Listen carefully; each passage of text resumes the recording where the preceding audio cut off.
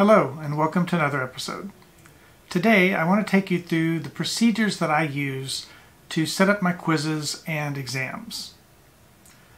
This will be a little bit more technical than what I normally do, but what I would like to do is take you through the overall decisions that I made on how I wanted to organize the quizzes and exams, and then show you how I made that technically happen in Canvas. If you use another learning management system, I'm sure that there's probably some similar ways to do this, but you may have to find other workarounds for the particular system that you use.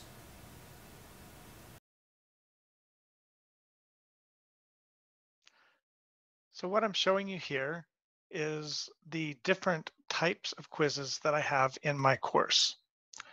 Essentially, I have three different kinds of quizzes. And then of course, I have my regular exams. There's only one of the first type of quiz, and that is in my syllabus quiz. And with the syllabus quiz, this is a quiz that I have in the very first module of the course as part of the way that students are just getting set up in the course and understanding all the things that are happening in the course. And so what I do with the syllabus quiz is I give them unlimited opportunities to take the quiz. They can take the quiz as many times as they'd like.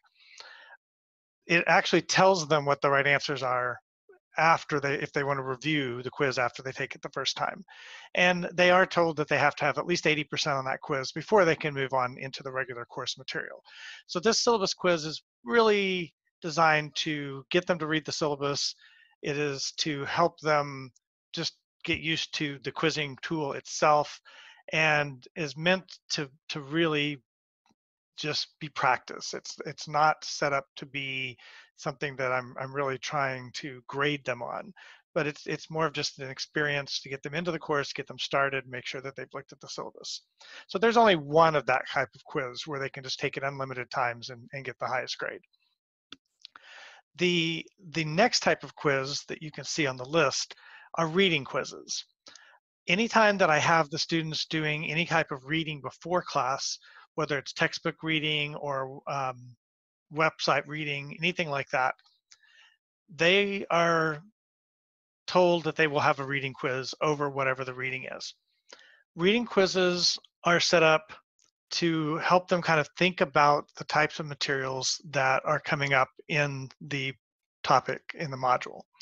So they're relatively low stakes. They're again more of a way of getting the students to interact with the material, getting them to know that there's a deadline to have that done so that they can get into the module itself.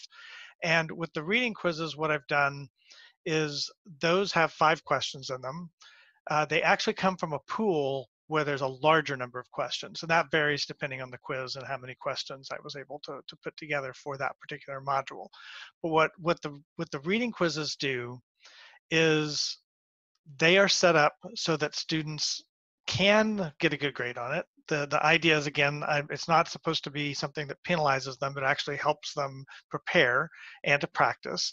And so they're allowed to take the reading quiz three times, and I will take the highest grade. But because I want them to really be thinking about the material, I don't tell them what the right or wrong answers were after each attempt.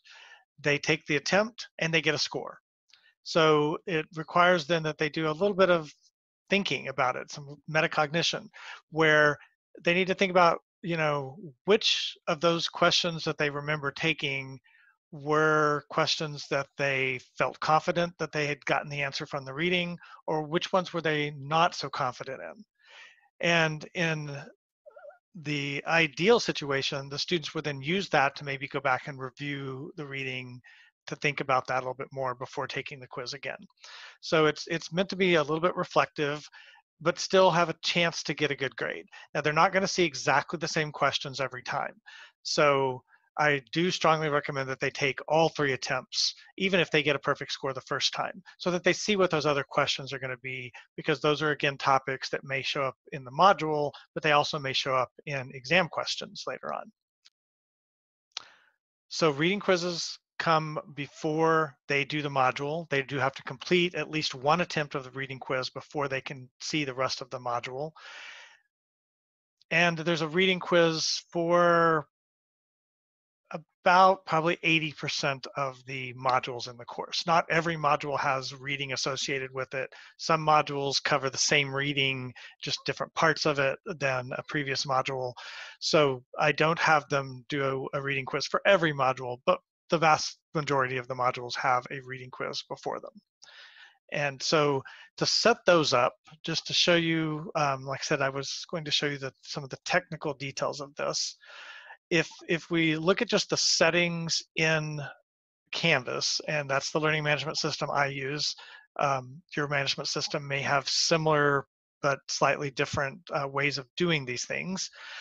But I've I've got with um, each each reading quiz has essentially the same instructions at the beginning that remind them that they will only get one shot at each question. They can't they can't go back and and look at questions after they've finished answering them. So they must go through the the the module or the reading quiz in sequence, watching, looking at each question, answering it, and then moving to the next. They can't go back, and the uh, and then explains in the directions that they can get up to three attempts, and the highest grade counts and all those attempts have to be completed before the module deadline or they start to lose points because I have a late point deduction policy in the course as well.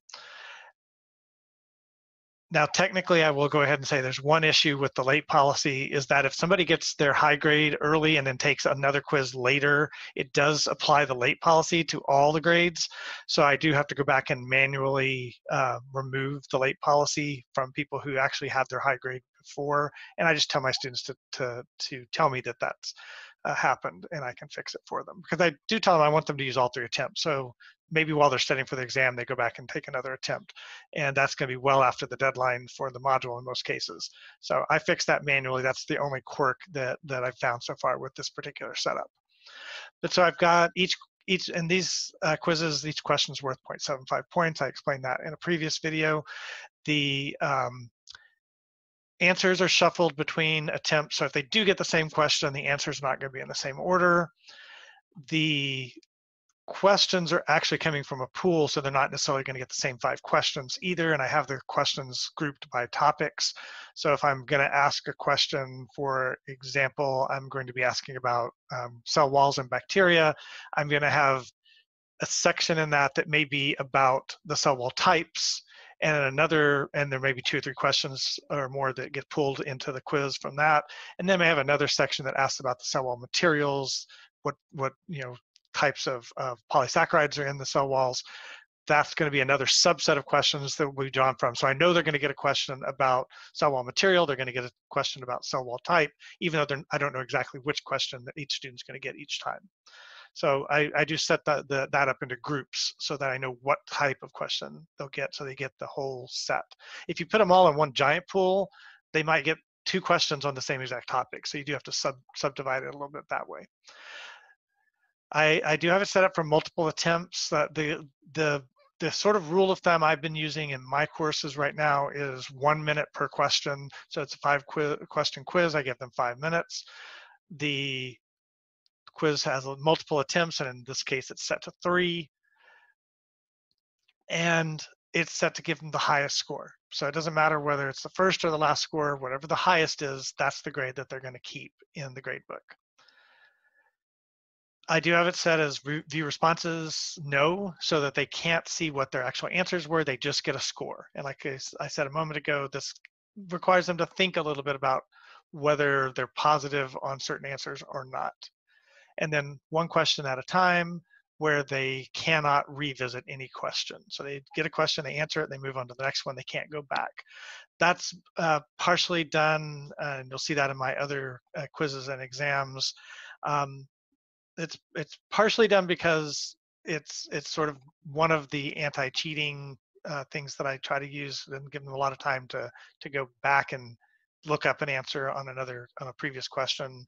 Um, and it it also allows me to not worry as much about whether a later question in a questions uh, in a quiz is going to answer a previous question, which limits sometimes the kinds of questions that you can ask.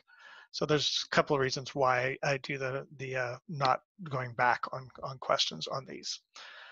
Then um, there's several options on here relating to test security on the quizzes. I don't use any test security as far as they're not required to lock down or anything like that. Um, but it, this is designed to be a lower stakes quiz. So uh, that's one of the reasons why I don't think that that's necessary to, to add that, that burden of all these extra technical issues that come along with things like locking down browsers and other things. So um, that is the basic setup for a reading quiz, which they get multiple attempts, low stakes, and they get the highest grade out of those attempts. The other type of quiz that I have in the course are summary quizzes. So if we come down here as a module two summary quiz, module three summary quiz, summary quizzes are designed to summarize what a student should have learned in a particular module once they've completed the module. So what I what I like to do with the summary quizzes is these are a little bit higher stakes in the terms that they only get one attempt. So they can't take multiple attempts. When I set these quizzes up, the difference is um, there are now six questions, so I give them six minutes. The, the questions, again, the answers are shuffled. There are no multiple attempts, so they get the one shot. They, again, don't get their answers back. They only get a score. And they get one question at a time where the questions are locked after the answer. So the same as the reading quiz in that. I, again, don't use any of the lockdown type things for this. It's, it's a little higher stakes than the reading quizzes because they only get the one attempt. But in the grand scheme of things, I tell the students and I try to emphasize to them that when you take these quizzes, you'll get a good idea of what you actually learned, which is going to help you understand whether you're really ready for the, the course exams or not. So they're they're hurting themselves if they're trying to cheat through these because they're not going to be prepared for the exams, which are worth a whole lot more points. And so uh, I try to tell them use these as learning opportunities and to help them see uh, if they're if they're they're learning it.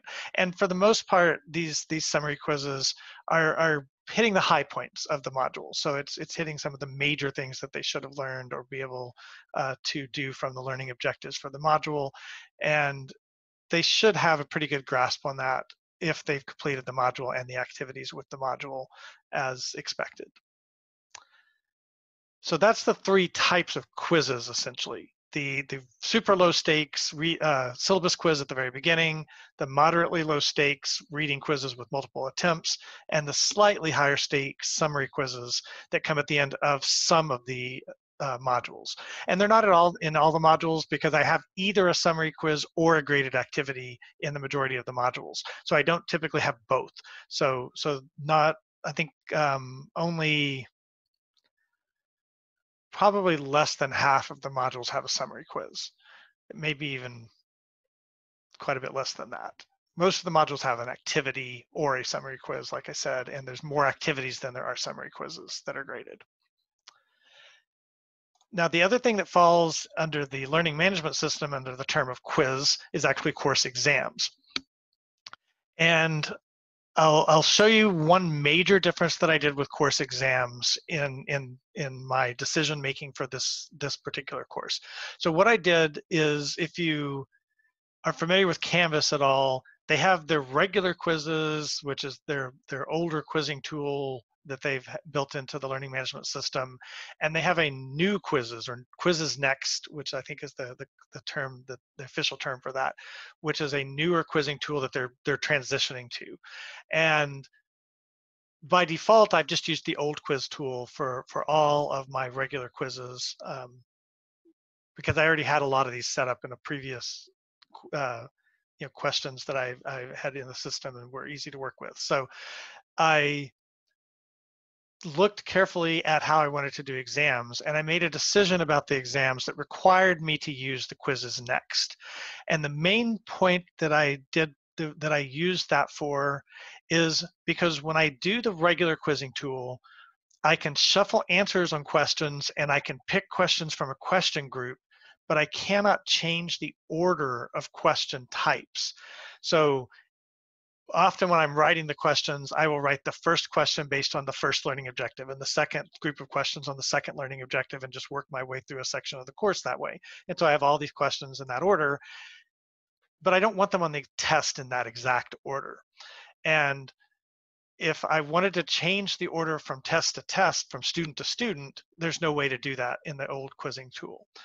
But the the the quizzes next or the new quizzes tool allows you to actually shuffle question groups. So I can I can shuffle question groups and I can shuffle and I can pick questions from a group within that, and then I can shuffle answers in a question. So it just gives more variation to the order in which students are going to get the questions and the order of which you know those questions which questions are going to be chosen from a group and what order those answers are going to be in and that is is my primary tool for just making it harder for students to try to cheat because they're not going to see questions in the same order as someone else even if they were trying to take the test at the same time um, communicating you know through whatever method they might use when they're not supposed to be during a test so so that was the decision I made, which required me to use the quizzes next tool.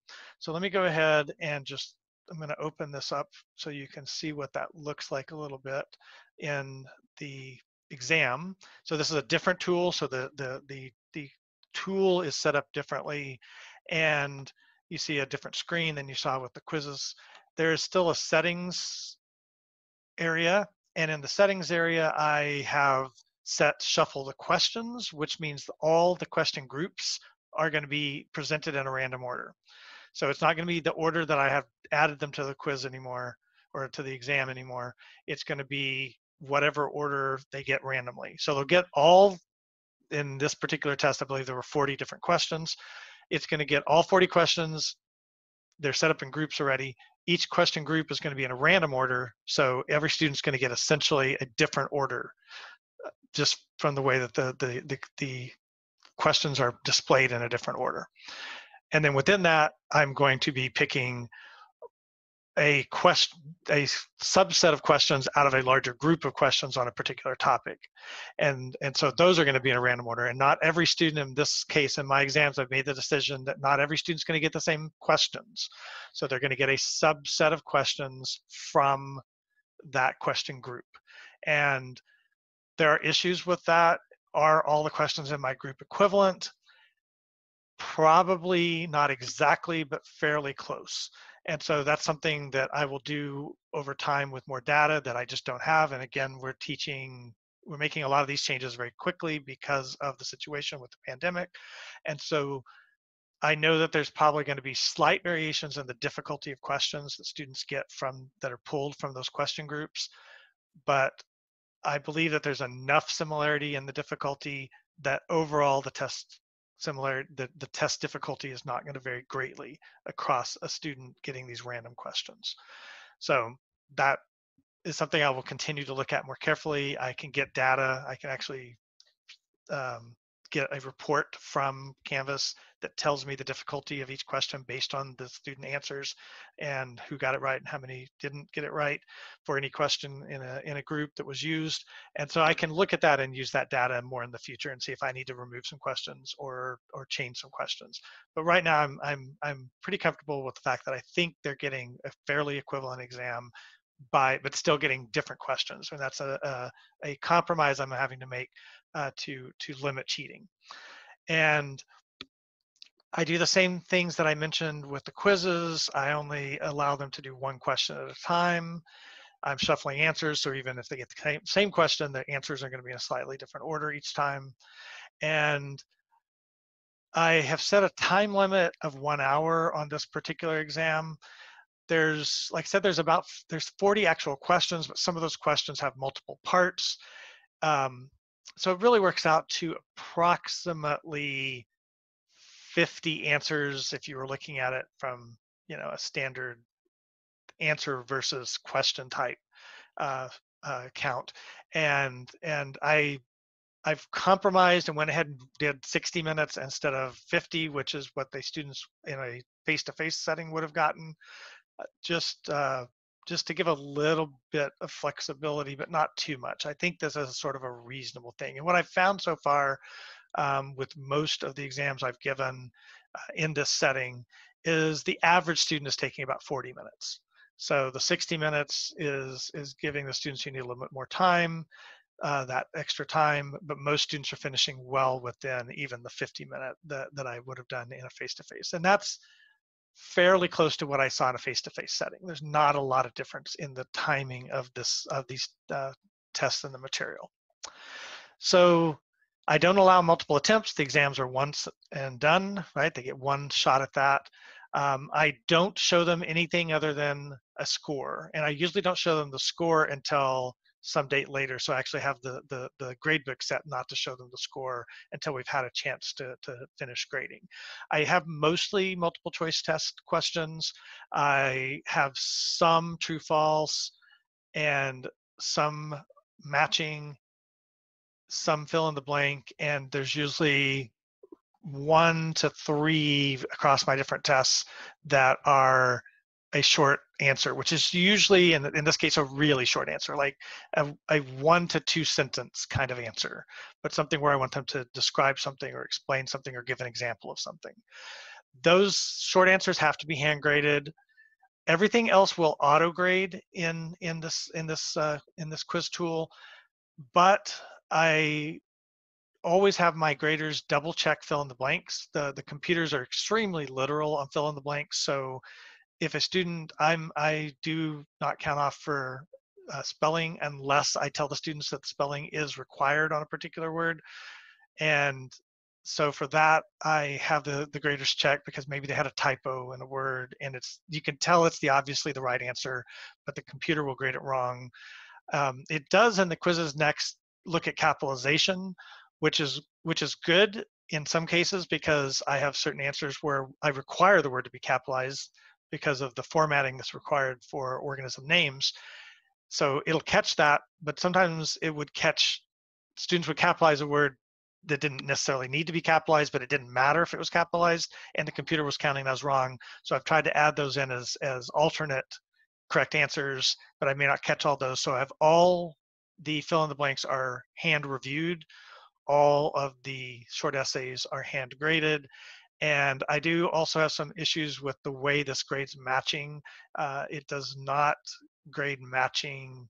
It grades it as an all or none. It doesn't give them partial credit. So I have to have those hand reviewed by my graders as well. So those are a couple of the limitations in this, but I think using those this tool was worth it to me because I get that sh those shuffled questions, which I think is one of the the the best ways for me to handle students taking the, the, the test at the same time in different locations and trying to limit them from trying to communicate with each other and and just make it a little simpler to to discourage cheating. There are lots of other things you could do with with locking down and webcam monitoring and proctoring. I chose not to do any of those. I emphasize to my students a lot the the value of honesty and integrity when they're taking their exams that they benefit by knowing that they know or don't know the material which is going to be this is an entry level course that's going to build a foundation that they're going to need in a lot of their other courses later in the in their their career. So i i try to emphasize that aspect of it and don't go heavy on the technical other than these things that I've built into the structure of the test. I don't require lockdown browsers or web proctoring.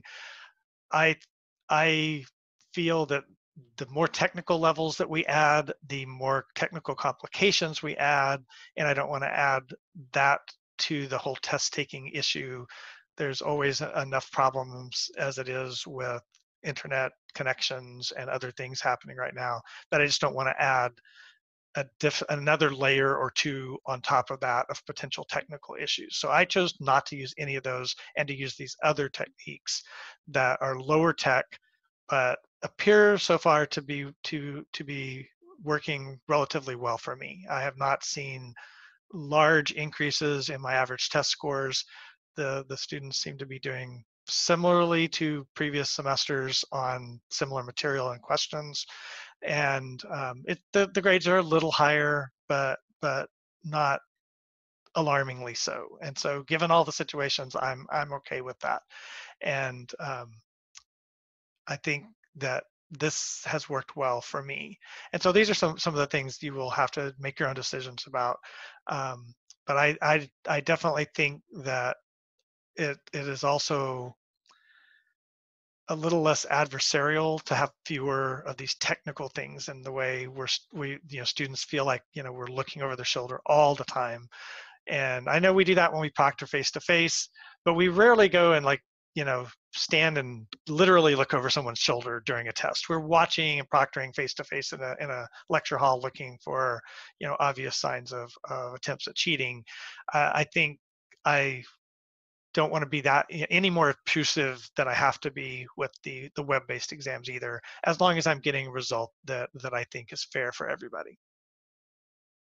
So that is an overview of all the technical things, and um, I I think if you use other learning management systems, I think hopefully you can you can find similar settings in in those as well to allow you to do this. It's not not every one of these settings is probably available, but you can you can look at opportunities in your own learning management system to do similar things. I hope you found this video useful and found some ideas that you can use in your own courses. As always, thank you for watching and I'll see you soon.